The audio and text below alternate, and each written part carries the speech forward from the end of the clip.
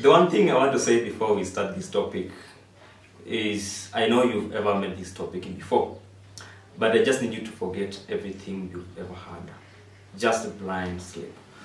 The biggest danger with a big class, especially like this, is to start this topic with some set of rules, you know, and you try to memorize the rules, try to apply them in hundreds and thousands of situations, and by so you say you know probability.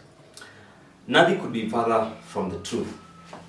Probability is a very general term, and in mathematics, uh, we say probability is the study in mathematics where numerical values are given to uncertain events occurring or not occurring.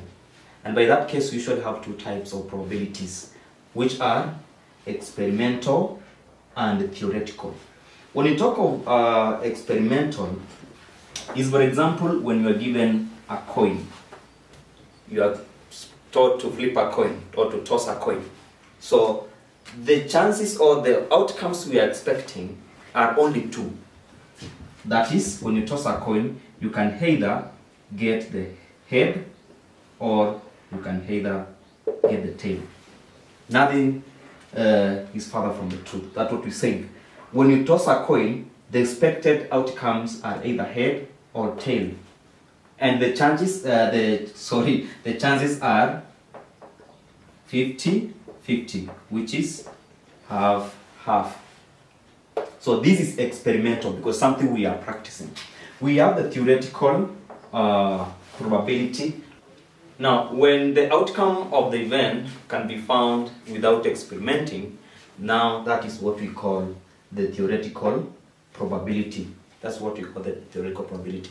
For example, we have a question here, um, which is a theoretical uh, question. Probability. Now, in Langata constituency, the contestants for MP seat are Jalango, X, and Y respectively. The probability that the three wins an election for the first round is given in the ratio of 4 is to 2 is to 6. Using a tree diagram, calculate the aspirant with the highest probability of winning the, the seat. So this is a theoretical probability. This is a theoretical probability because uh, we don't have to find the, to, to do the experiments to get the outcomes of the events. All right. So these are the chances, the ratios on how they are going to win. So we have the contestant, we have Jalango, solution. Uh, we have Jalango. Uh, we have contextor X and we have contextor Y. Dexter Y. So student, these are questions we are just doing. Uh, we are not politicians. So the probability that uh, the three wins the election is given the ratio of 4 is to 2 is to 6. So these are the ratios are given. 4 is to 2 is to 6. You see a tree diagram, calculate the aspirant with the highest probability of winning the election. So first of all, we have to come up with the tree diagram and the contestants are three, so we have three chances. This way, uh, we have Jalango, J, we have contextor X, and we have contextor Y. Their probability, so the probability of either of them winning, because we have three of them, will be a third. A third a third, a third. Why we get a third? It is not given in the question either. So, in the Langata constituency, the contestants we have in the ground, they are three. Nothing uh, is further from the truth here. They are three. So the outcomes expected there, they are three. We'll have three ballots. All right. So the probability of either of them winning will be a third, one out of the total of them, which is three. So either of them can win. Jalango can win, contexta S can win, Y can win. So that's why we have a third, because they were picked randomly.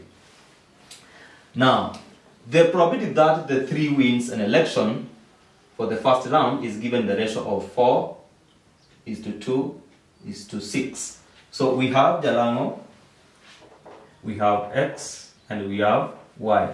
The probability is 4 is to 2 is to 6.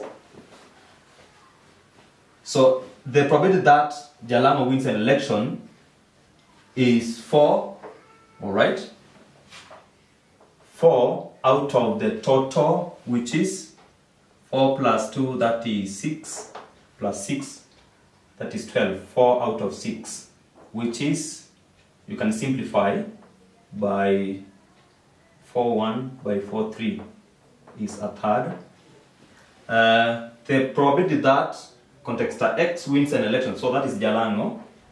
The probability that X wins an election is 2 out of 12.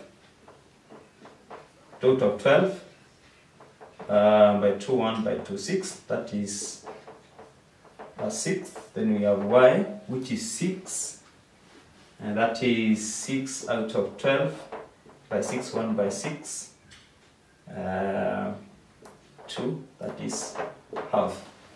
So the probability that uh, Jalango wins election is a third. So Jalango winning he has only two chances. You can either win or you lose. Alright? So for Jalango is a third. So if the ability to win the election is a third, not winning will be uh, two out of three. Will be two out of three. That's for Jalango. For contexta X, the probability of him uh, winning is a sixth. So you can either win or lose. So it's a sixth. Uh, for losing will be five out of six. Then we have contexta Y, that is winning or losing. Uh, winning is a half. Losing is half. So the question here was part A. Uh, calculate the contestant with the highest chances of winning.